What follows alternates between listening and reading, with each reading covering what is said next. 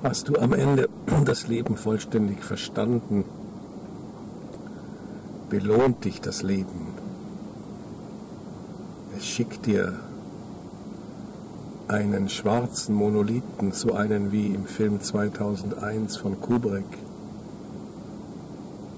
undurchdringlich, hochglanzpoliert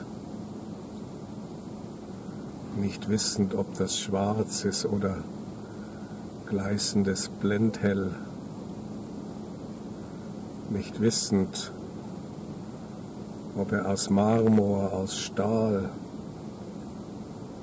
aus Iridium, aus Gallium oder anderem gefertigt ist nicht wissend, ob das eine positiv ausgedehnte Substanz mit drei scharfen Kanten und Dimensionen ist. Oder aber nur die eigene Umkehrform,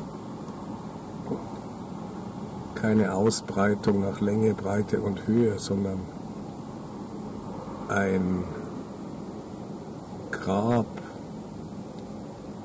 ein Graben, eine Gruft, ein Hohlraum,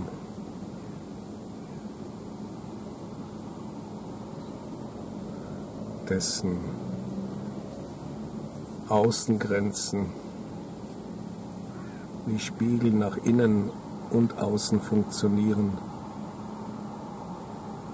Ein Spiegelkabinett, eines von dem Stanislav Lem spricht, das alle Lichtstrahlen so um sich herum führt, gekrümmt, dass man mit der Nase dagegen rennt, obwohl es unsichtbar bleibt.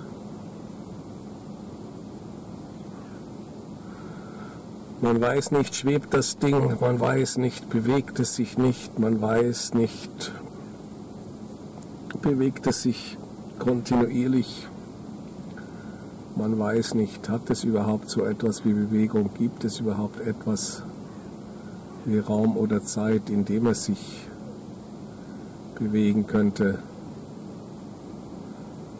entsprechend dem unendlichen Fallen des Parmenides. Oder ist es umgekehrt? Und Heraklit hat recht und die starrsten, die härtesten marmorpolierten Strukturen der Sarkophage, zum Beispiel der Apisstiere, immens groß, 18 Meter lang, hunderte Tonnen schwer.